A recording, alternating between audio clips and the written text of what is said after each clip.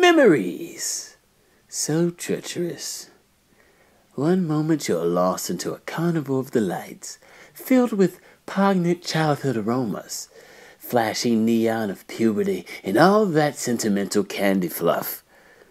Next, it leads you somewhere you don't want to go.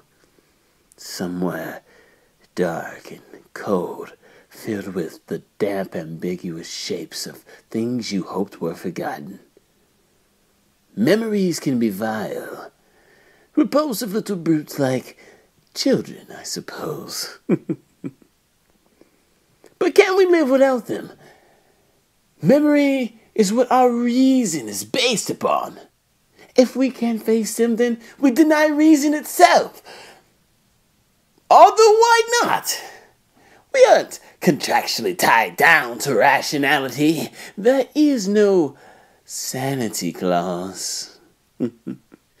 so when you find yourself locked down to an unpleasant train of thought, heading for the places in your past where the screaming is unbearable, remember, there's always madness.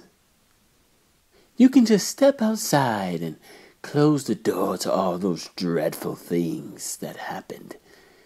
You can just lock them away forever.